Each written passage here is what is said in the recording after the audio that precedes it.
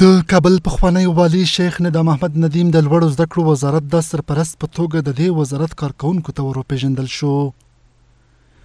د نوموړي د پیژندنې په مراسمو کې د دې وزارت پخوانی سرپرست عبدالباقي حقاني وویل چې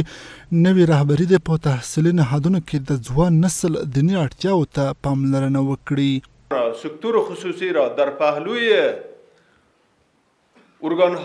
تحصیلات عالی خود اونا رو تقویت میکنیم البته یک خواهش ما از اونا هم است که اونا هم سعی و تلاش خود را بکنند که از از پانتون ها از دانشگاه ها به حیث دکان استفاده نکنند نام ها نوشته می باشد در اونجا هیچ شاگرد وجود نمی داشته باشد در خیل سال بر از اونا دیپلوم توضیح می شود نباید انجنیر شود تبدیلی او تغییر دا د نظام یو خاصه وي موږ په دې باندې خوښ شو حضرت شیخ صاحب په تمام معنا سره د موږ نه علمیت هم خده صحت هم خده فکر هم خده خدمات هم ډیر دي او د مرکز سره واسطه مضبوطه ده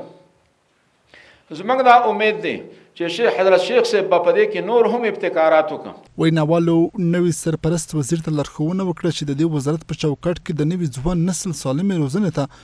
ډېره توجه وکړي. دوی زیاته کړه، په ګمارنو کې دې د شیخانو او ملایانو ترڅنګ نورو ته هم ونډه ورکړل شي.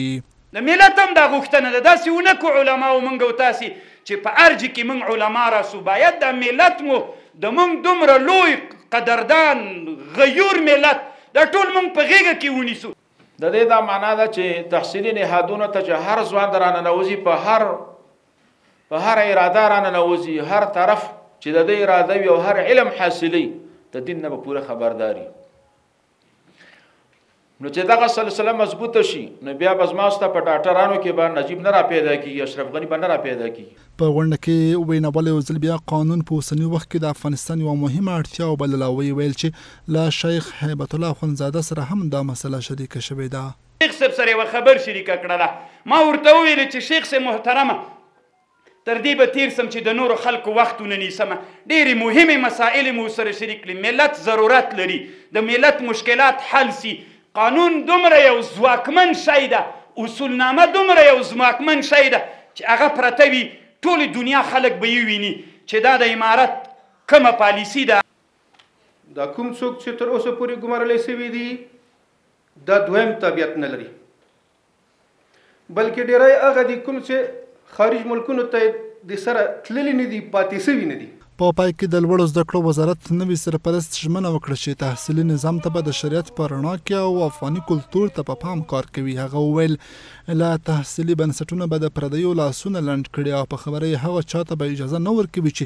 په تحصیلي نهادونو کې د ګډوډۍ د رامنځته کولو هڅه کوي. ځکه چې هلته په زرګونو کسان اوسېږي، د هغو خپل تعلیم غرض یې خپل یو مسلکي توب و،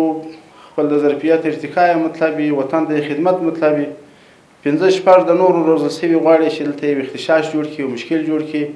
یو بې اعتمادي مابین ته راوړي، د دې بچیانو د درسو نظام سره ګډوډ شي،